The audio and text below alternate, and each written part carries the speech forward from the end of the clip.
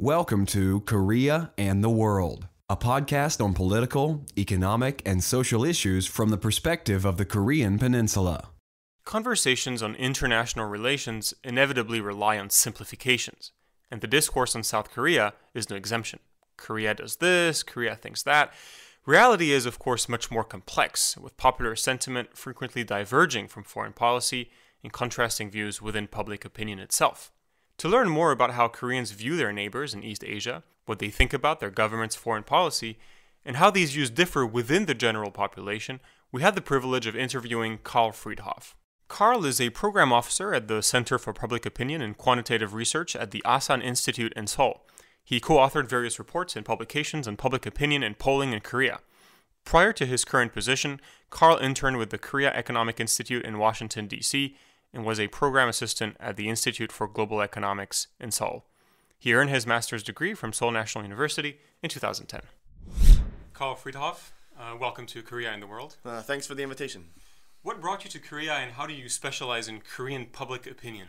Well, originally I, I was in the U.S., of course, and I, I just decided it was time for me to get out of the U.S.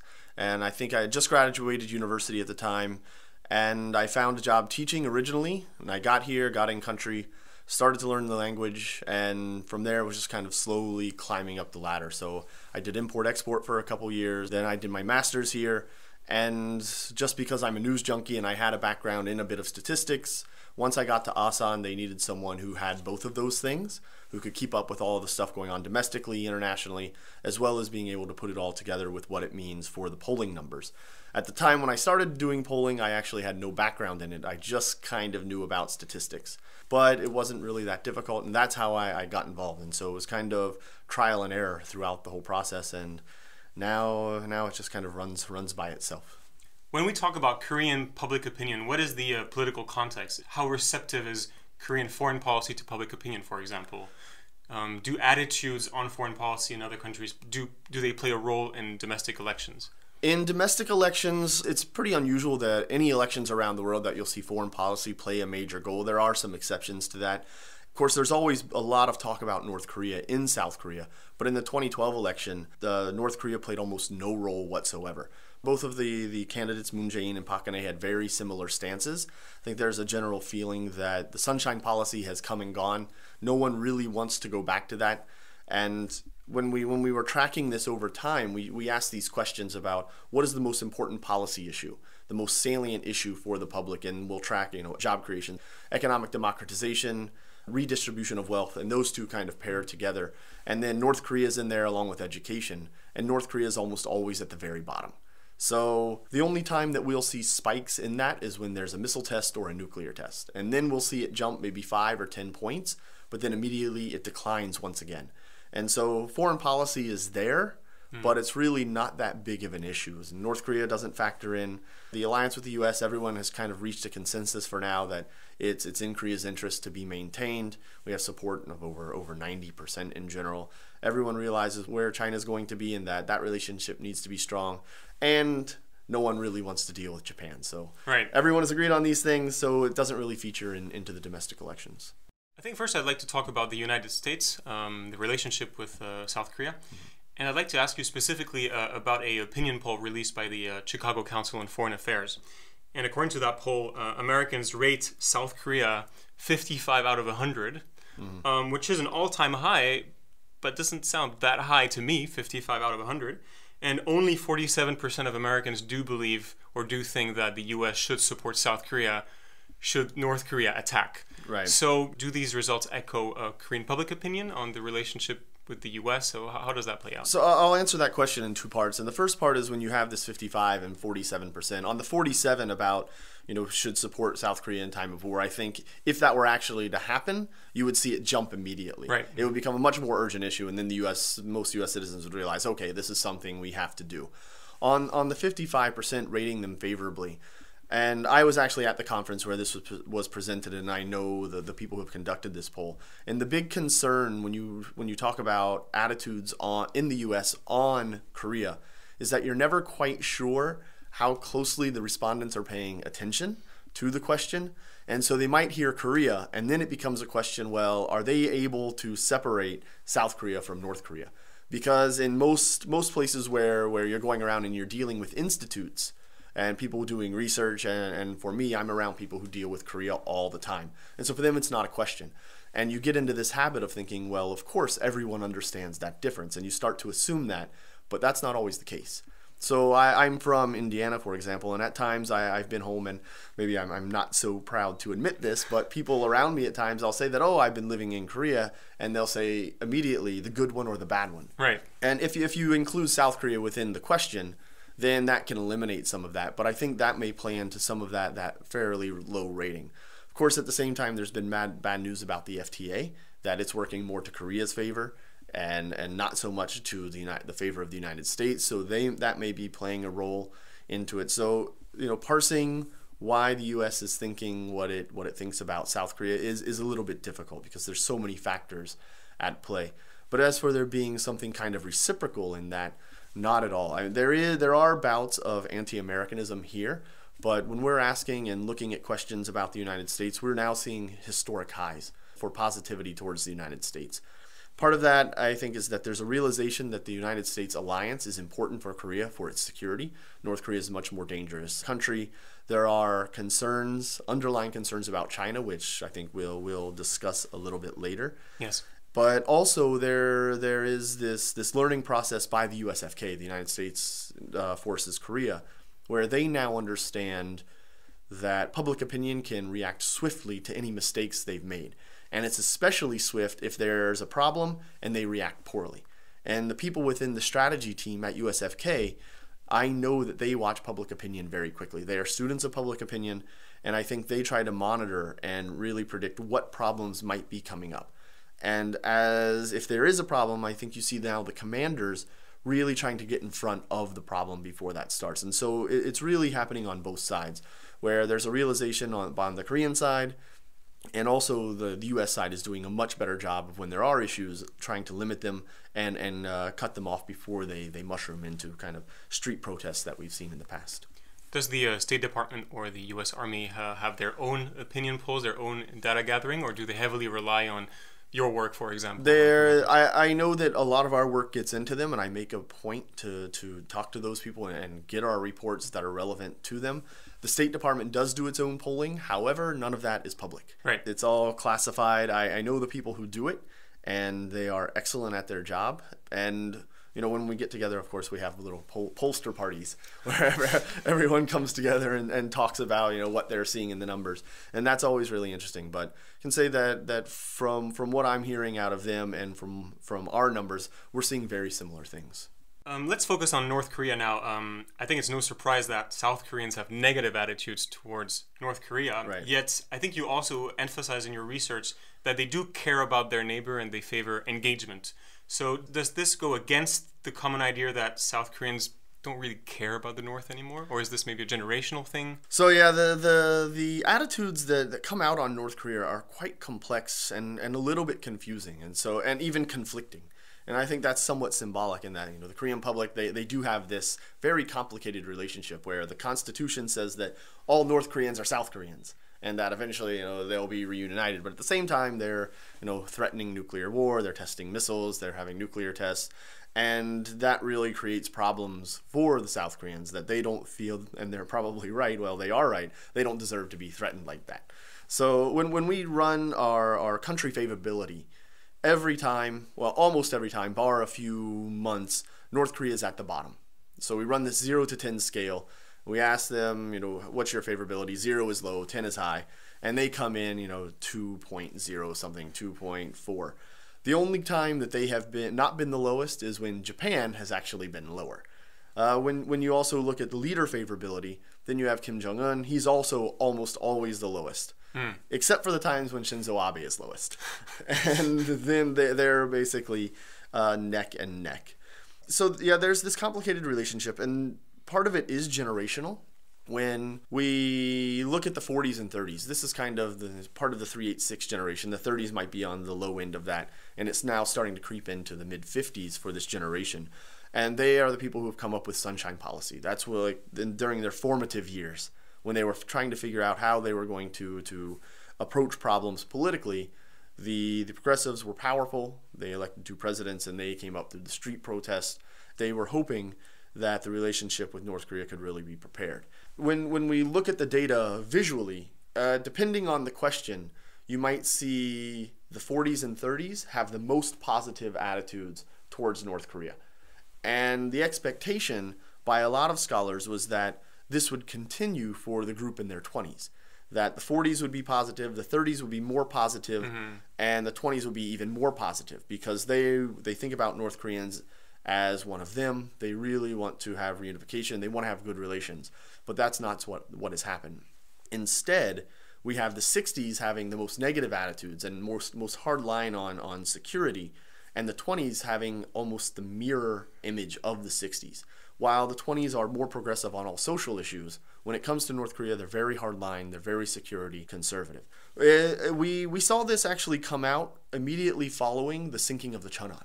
And while there wasn't, as far as I know, a lot of work done on 20s attitudes towards North Korea before the sinking of the Cheonan, as soon as that happened, I think we, we saw a big change where you have the, the cohort in their 20s they're much more you know, worldly. They've, they've grown up in South Korea that's always been affluent and they've known no other South Korea. And so they have this new kind of burgeoning confidence. And for them, they're thinking, well, why should this poor northern country really be able to push us around? And what also ties into that is there's a shift in identity formation. In the older, among the older generations, it was always, well, we're not Japan, we're not China. There was this kind of, they needed this other to help form their identity. But the 20s aren't really doing that. They're just saying, well, we are South Korean and it doesn't really matter what anyone else. So there's this kind of confidence going on. We've been rerunning surveys that were done 10 years ago where they break identity formation into civic and ethnic components. Hmm. And among the civic component, it has stayed about level over 10 years. Among the ethnic component, it's come down among all generations, but the biggest drop has been among people in their 20s, where the ethnic component is far less important to them. And when you roll that forward then and tie that into North Korea, and that's one of the, the most common bonds with North Korea is that you have this ethnic bind. And if the 20s aren't going to see that, that's becoming less important. It's going to make them more likely to treat North Korea not as, you know, a, a as a one of us, but as either an enemy or just a neighbor or as a strange country. And they just want to see it treated like you would treat any other country that's threatening you with nuclear weapons. Not, and there's no real exception. That is a, a, massive change. That North Korea could be seen as a third party one day. Right, right, and that's one thing we're we're not quite sure what's going to happen with the generations moving forward. Because if they do follow the trend of the 20s, where they they see this and they're not tying in their ethnic bond or their identity formation into North Korea, then yes, because that's one of the the underlying theoretical principles that reunification by by choice will have to take place eventually. But if the younger generations no longer see that as as a necessity, then what becomes of reunification? Maybe they'll become more comfortable with the idea of the two Koreas just being a a federation, where as long as North Korea is not threatening, then well they're fine with the regime in place and just kind of ignoring them and allowing them to stay isolated.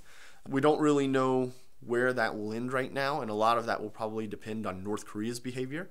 But if it doesn't change, I can see that the young generations coming up will continue to have that, and this this push for unification, you know, it, it could certainly falter.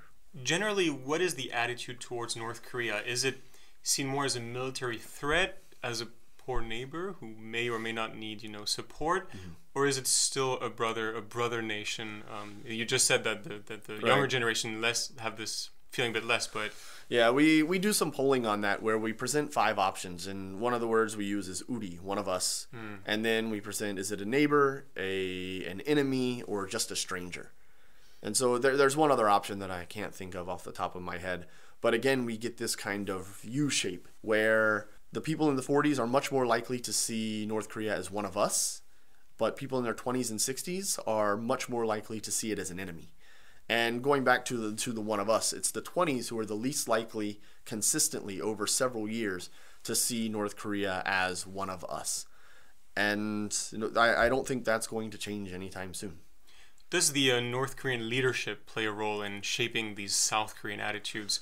Did, for example, the um, the death of Kim Jong Il and the rise of Kim Jong Un to power change anything? Or in in the polling, there's generally a feeling that Kim Jong Un is a little more dangerous and that he's a little more unpredictable. We do see some of that, but there is a separation, I think, between the people and the government, because when we run these favorability polls, the the favorability of North Korea, the country, is always slightly, uh, significantly higher than the favorability of the leader himself, and so there is some separation there but it's not so big as you might think, where it, the gap is obvious and it's very large. Um, more specifically on the unification um, or reunification, I should say. Mm-hmm. Um, you mentioned already a bit on that, but um, do you think the recent efforts of the Geun-hye administration to describe reunification as a economic bonanza is currently trending? Does it have any effect? Um, again, is it generational? When when she came out with that statement, she used the word daebak, which is kind of this youth slang, and so it was very much aimed at getting the youth on board.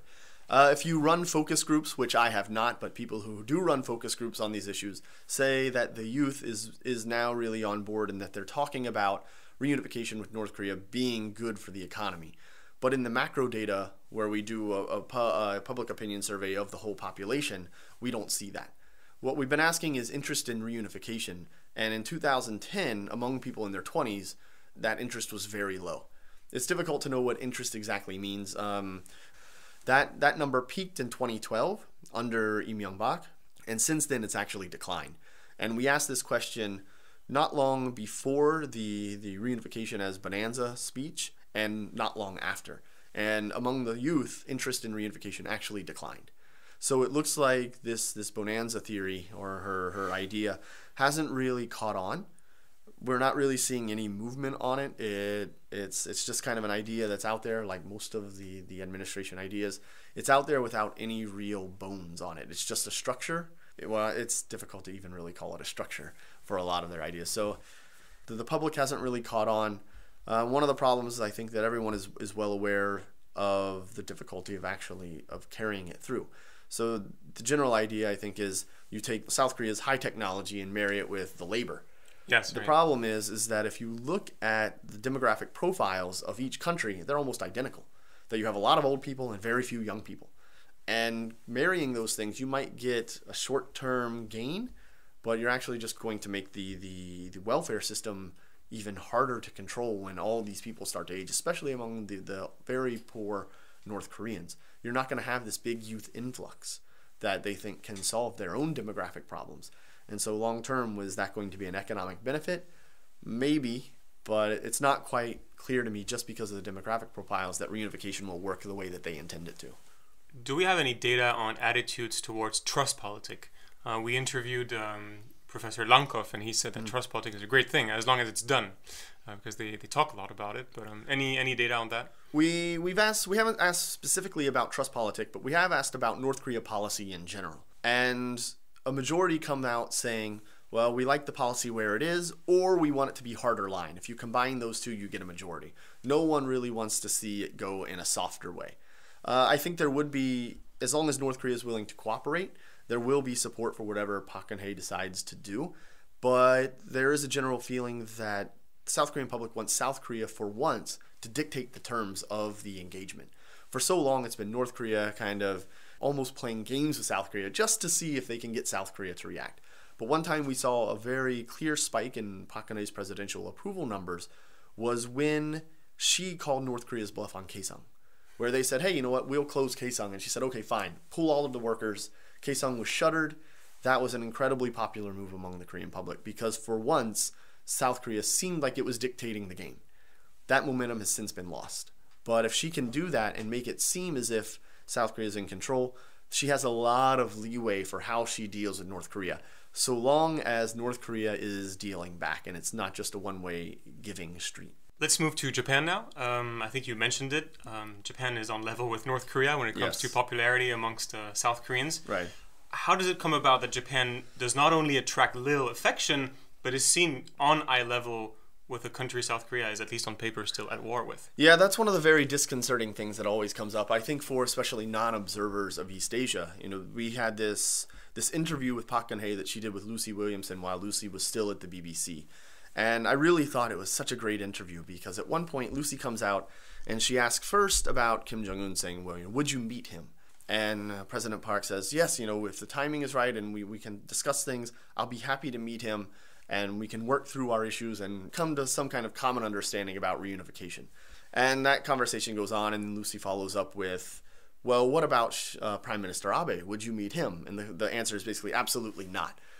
And I really think that was a big mistake and a big blow to the Park administration at the time because while that can play for the domestic audience, you know, the BBC is not catering to the domestic audience, right? It's going out to people all over the world.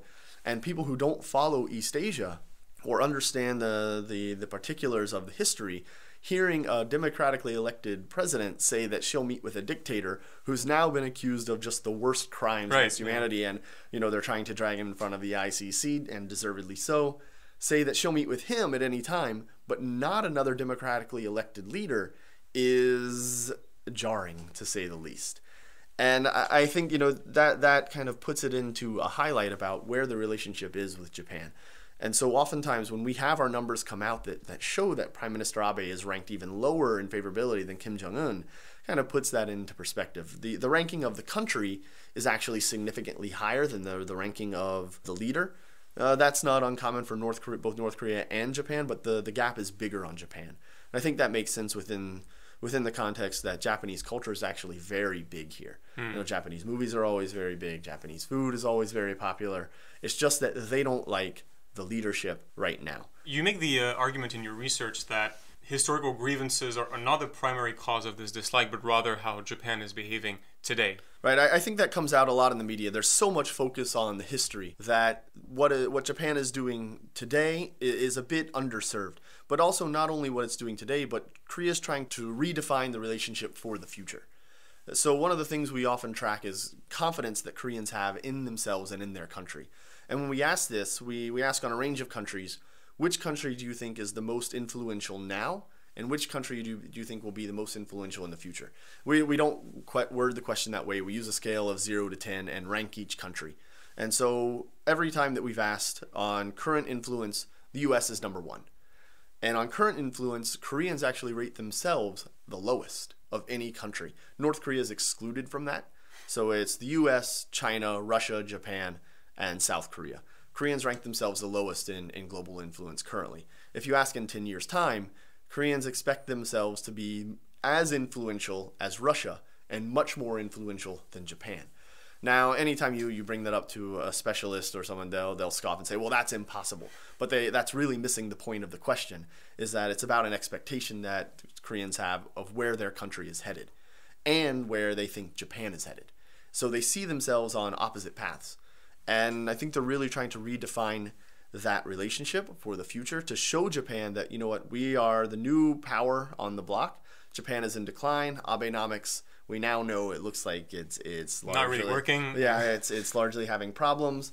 Korean economy, you know, despite them raising the alarm bell saying that, you know, we're on the path towards Japan, still looks to be doing okay. And so there's a sense that Korea is the new power. And it should no longer have to deal with a Japan that is recalcitrant and unwilling to deal with history. It is also about history, but it's also heavily about the future. The the age gaps that come into that, we will see the different generations react much differently to certain events. So we we asked country favorability before and after the Yasukuni visit on December 26, 2013. Uh, during that time, we had happened to ask the question just prior to that, earlier in the month, and we had the chance to ask it again, right at the beginning of January. And when we broke that down by age cohort, it was actually quite interesting because we have this trended over two or three years. And immediately after the Yasukuni visit, there was a decline in favorability among the 60s, a significant decline. Less of a decline among the 50s, even less of a decline among the 40s, and among the 30s and the 20s, no decline at all. And if we, we went back and tracked that for several other times where there have been issues with Yasukuni, and each time it's the same. So for the younger generations, they don't care about Yasukuni. They, they mm-hmm. recognize, I think, that it's a historical issue, but it doesn't affect them directly.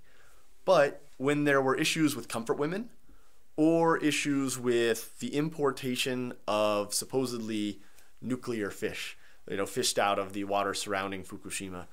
That is when we saw the biggest declines for people in their 20s, but nothing among people in their 60s. So the 20s look at Japan, and, and if it's going to affect them personally, their health, then they're more likely to see their favorability de- decline for Japan. And so for me, that was a very interesting. But the one thing that I think everyone agrees on uh, issues with Japan, it's it's Dokdo is number one. Comfort women is actually last. It's the lowest, and even though it gets the most attention currently, and then historical issues are actually in the middle. Um, going back to Shinzo Abe, the current Japanese prime minister, um, as you mentioned, he seems to be a special object of loathing. is this dislike directed at his office, or is there a personal dimension? I think it's directed specifically at him. You know, as, as far as his cabinet, you know, he surrounded himself with people that, that are also outspoken on the issues that he's outspoken on. But it is it does seem to be a special loathing against him. You know, at one point he showed up in a fighter jet of this photo op where it had on, on the side 713. What does that mean? The the people who had seen it and picked up on it thought it was an indirect reference to Unit 713, which performed live human experimentation on Koreans in Manchuria. And so that of course that it was it was placed on the side of this airplane within a photo op picture did not go over very well with many in Korea. So there have been all these kinds of missteps where he's visiting Yasukuni, he's looking and, and kind of trying to redo some of the, the, the Murayama statement that has been out, kind of undermining the legitimacy of that. That's what a lot of people see it as. And now even in DC, if you if you track back and can talk to a lot of the, the people who follow these issues and all the background chatter going on about Abe is that he is a true believer, you know, the, the, that Japan did nothing wrong, nothing beyond what anyone else had done in war, and they were truly a victim of Victor's justice. And now he's trying to right that, saying that Japan needs to reclaim its its rightful place in history. It should not be ashamed of its history, and that rubs a lot of Koreans the wrong way, considering how much they have suffered at the hands of Japan in the past. If we look at the strained relations between South Korea and Japan, is public opinion a cause or consequence of this relationship? Where is the causality there? Yeah, that, that's a good question. Um, when we look at President Park, this was said to me by someone at the U.S. Embassy, she's kind of set out her line where she's going to be on Japan. Well, the foreign minister sees that line, and then he decides, well, if I want my job to be good, I'm going to move slightly to the right of that. And then it gets down to the director general, or maybe the vice minister, and then the director general, where everyone sets the line further and further to the right and really nothing can happen with Japan, even at the working level. So even at those levels, things are now are now frozen. The causality, you know, there all of our polling shows that there is wide support and a majority almost every time want a summit to take place. They are in support of President Park going to meet President Abe because the idea being, of course, that, well, if you have problems, the leaders have to meet to talk it out because that's the fastest way to get things done. But there's so much fear of the loud minority. That silent majority is majority is there, but the loud minority is so loud that it can create huge problems for anyone involved. You know, there are stories of people coming out and saying, well, Japan, we have to work with them. Things haven't been all bad in our relationship. We have to look at some of the positives, and it can make them lose their jobs. You know, you have people out protesting in front of the Japanese embassy where they take a hammer and literally smash the heads of the Japanese national bird on the street. You have people cutting off their fingers in front of the Japanese embassy. You know, all of these things happen. And so people see these things and say, well, you know what? I might silently support that our and accept that our relationship with Japan needs to improve. However, I don't want to risk my job on it. And so they tend to stay out of it. Is there anything the Japanese government could do to improve these South Korean attitudes? Or is the ball in South Korea's court? And I think specifically, would it help for Japan to apologize um, again, or you know, according to whatever standard that mm-hmm. has been set by South Korea. There are a lot of stories that at one point under Noda and Lee Myung-bak that they had be- they had come extremely close to a deal. Uh, Japan thought the deal was sealed, which was going to include uh, a whole package. The Korean government came back and said, "Oh yeah, by the way, we can't accept that because our NGOs won't accept that." You know, there there are stories that they the Korean government has pressured the the comfort women not to accept payment from the Japanese government because then they are no longer eligible to get payment from the Korean government. So they're they're actually kind of playing hot potato with this. So at some points the ball will be in Japan's court, and you know th- these things are oftentimes after there's a Yasukuni visit or there's something controversial is said. So Korea can step back and say, "See, it's not us. It's it's it's the evil Japanese that are the problem. So if there's going to be any kind of improvement, they need to do things." and things will then move on. And a lot of this pressure, pressure actually comes out of DC. That's where it originates, where you have people there who are fairly influential and because that's where political discussions take place on the international scene. And what was really kind of politically savvy about Abe the last time he visited Yasukuni is that he did it and he also announced the the, the basing issue on Okinawa, saying that Right. that was going to be taken care of. So he did those two things at the same time, and the U.S. really wants that base, and they really want to see Japan take on more of a role in in peacekeeping and develop its own uh, own, own own forces. And so after that happened, the ball was back in South Korea's court, where it was see, Japan's not so bad. Why? What's wrong with the South Koreans? Why aren't they moving to to improve this relationship? And our polling, of course, did not help matters because we had a majority and continue to have a majority saying President Park needs to meet Prime Minister Abe. And so that, that potato kind of goes back and forth. They play a lot of the blame game. But now it looks increasingly like President Park's diplomacy is on the verge of failure. The, the relationship with the U.S. is, is fine. Things are not good with North Korea. Things are not good with Japan. They expected that they could approach China and get some movement on China on North Korea, but now they're starting to realize that that's not happening either. And now you have a bit of a warming between China and Japan. And so where does that leave South Korea? It leaves South Korea out. I think it's now time to move to the elephant in the room, that is China. Um, it seems to me that many countries, um, especially the United States, showcase a rather worried attitude towards China's rise. Um, what is the situation in Korea? Korea has an, an interesting take on China because uh, on one level they are very positive. You know, behind the United States, they're the second most favored country, and that, that gap is is somewhat shrinking over the over time. Xi Jinping is the second most favored leader in the region behind President Obama, and again that gap is not very big. On the whole, there is a very positive assessment of President Park's diplomacy towards China. The fact that under Lee Myung-bak, relationship was very cold, and she has repaired that. It looks like the business relationship is going to improve. And in the first year, everyone was saying, wow, she's done such a great job with China. I was never quite on that boat because it, to me it just looked like this was just a reestablishing of the relationship of where it should be from the time it had fallen off under President Lee.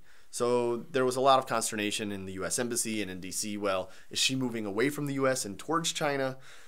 Uh, that that of course hasn't proven to be the case, but the public remains very positive towards China on the surface. The problem is that once you dig down into the numbers and you start to break down, well, what are the attitudes on China's military rise?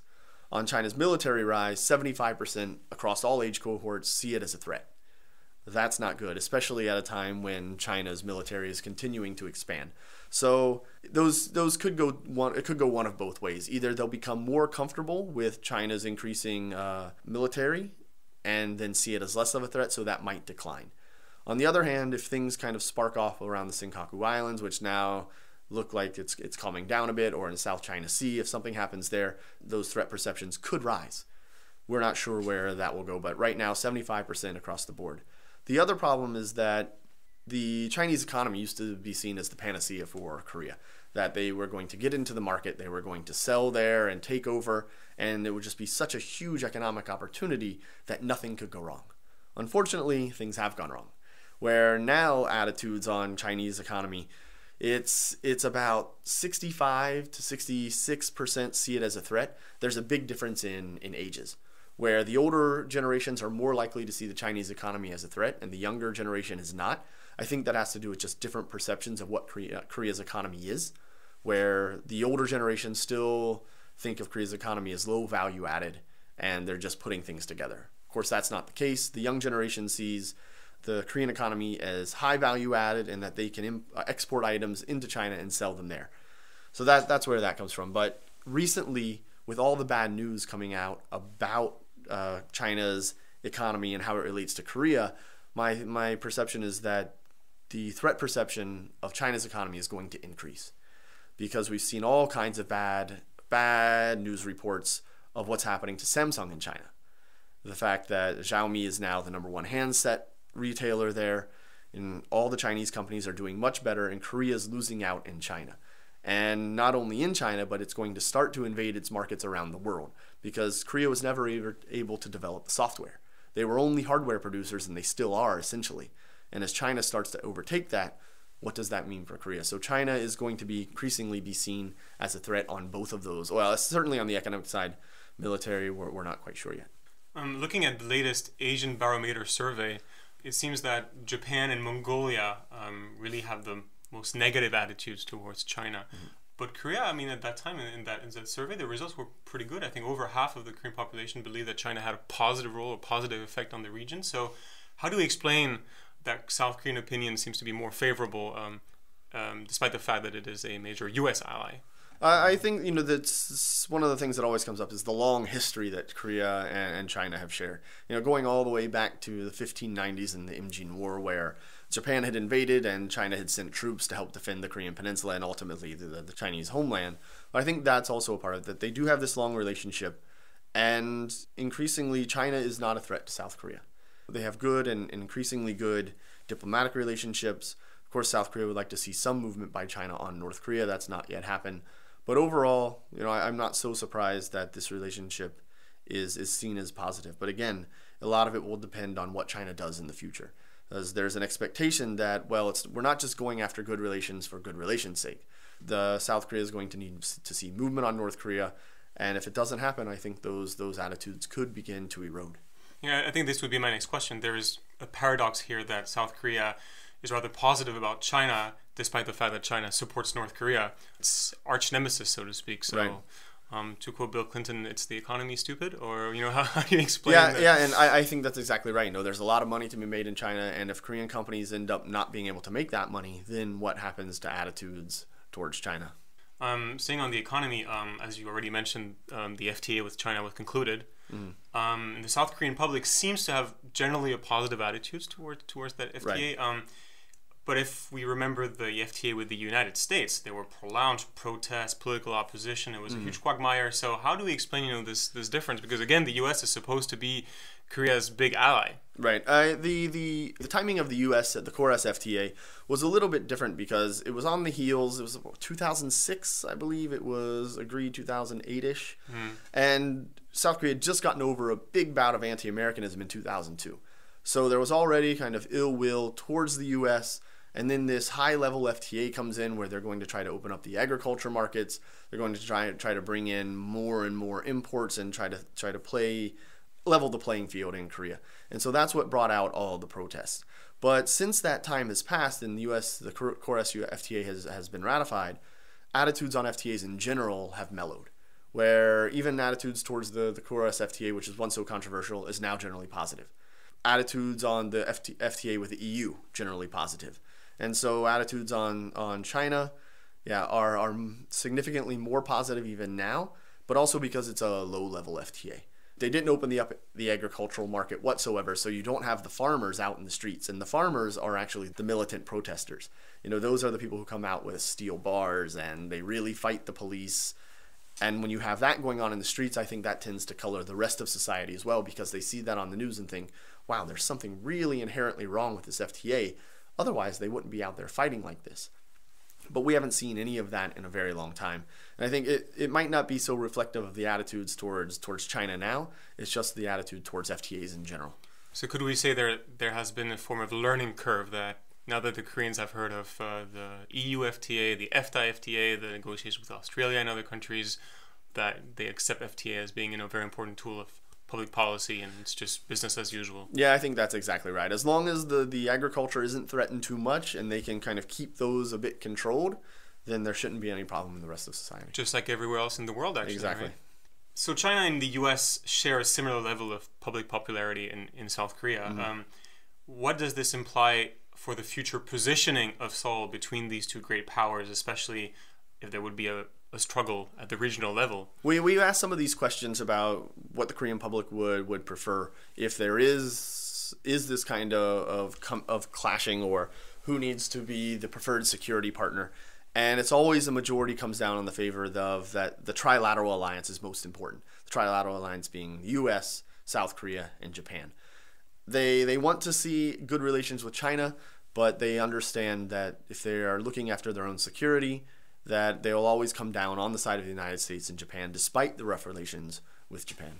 Uh, in this interview, we talked a lot about how Koreans perceive their neighbors. Um, how about you know the other side? How do J- Japan and China perceive Korea? Do you have any data on that as well? On China, there hasn't been that much. Doing a, a, lot of the polling there is very difficult. Everything has to be approved through the Chinese government, and anything that's going to be even somewhat controversial, they will strike.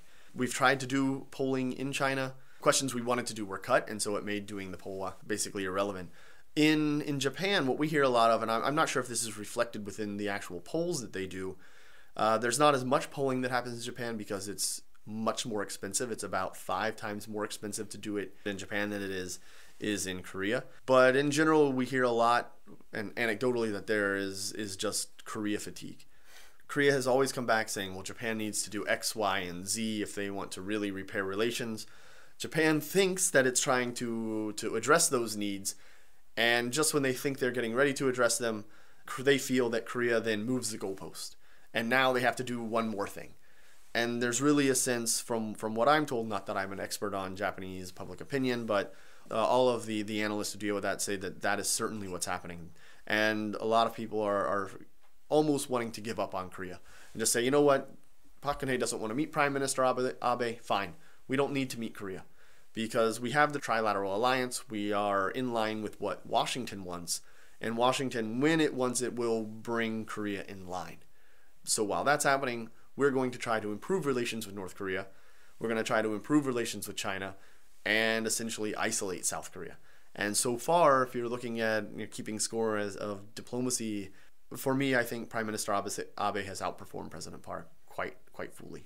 To conclude, uh, Karl Friedhoff, I'd like to uh, engage in some futurology. Okay. If you had to advise the leadership of Japan, China, or the United States, what policies would you recommend in order to improve um, the image Koreans have of their country. Um, what is Korean public opinion receptive to? Uh, well, for for South Koreans to, with regards to the U.S., just for the U.S., just keep doing what they're doing. Ratings all across the board are at historic highs. Uh, they've done an excellent job of managing the relationship. They're much more cautious of being seen as dictating policy to South Korea. So on the U.S. side, I don't think there's really anything to be done different and in fact try to try to keep that up and now that everyone is aware of that i think that will continue so not really too many worries on the us side as long as there's no nothing unforeseen because it's always the unforeseen thing that that causes the the huge problems as for japan yeah well there there's a lot that they have to do quite frankly number one is that they really have to get a, a grip on on on how they're going to handle the comfort women issue because just allow, allowing it to continue on as it is is a solution, but it's not a particularly good one. They have to have some kind of proactive approach to deal with that. Dokdo is going to be there. I, I don't see any serious uh, push by Japan to really reclaim it. Yeah, there are the Shimane Prefecture, um, you know, uh, Takeshima Day.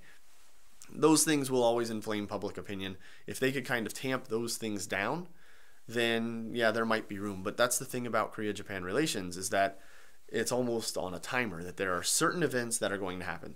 You know, Takeshima Day is always going to happen. The the review and the release of tech, history textbooks is always going to be there. It's always going Yasukuni. to be Yasukuni things. And so just when you have a window where you think there might be positive movement, an event comes up in Japan that the Japanese government understandably can't avoid because of domestic reasons. So it, I understand the Japanese government is in a difficult position, but they really do need to come out and try to solve something about the comfort women issue because if all of the women die before Japan has done anything about it, it then I think becomes an unsolvable issue. And what about China? If they're trying to improve views, uh, South Korean views of China, they're going to need to move on North Korea. We, we've seen some, well, every time we get a delegation coming through, inevitably they say, yeah, you know, we're really seeing China changing its tune on North Korea. There's really a change coming. And we've been hearing this for a couple years now. So far, we haven't seen any actual real change. But if they, they can start to move on North Korea, perhaps putting a little more pressure on them, then I think we'll see South Koreans really turn to, to start to embrace China. But, you know, views of China are already fairly positive. So. Karl Friedhoff, thank you so much for being our guest today. Thank you. This was Korea and the World. To make sure you don't miss our next episode, bookmark our website, koreaandtheworld.org subscribe to our podcast on iTunes, and follow us on Facebook and Twitter.